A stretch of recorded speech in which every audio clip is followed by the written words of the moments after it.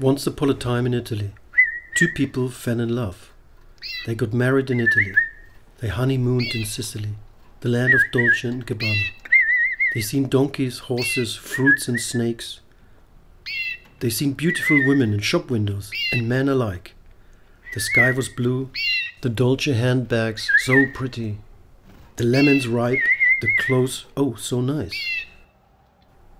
They seen green cauliflower, a man stroke an eagle without fear.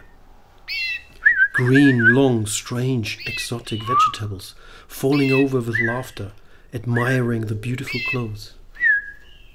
The wine was flowing, the clocks and lamps are clapping, the panettone delicious. They seen oranges and parrots talking to each other. They seen beautiful shiny earrings, owls hoot Dolce and Gabbana, Dolce and Gabbana. The sun is shining, the glamour is all.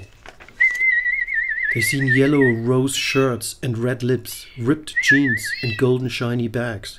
They seen angels made in Italy. People sense their happiness, singing auguri, auguri to them. They lived happily ever after.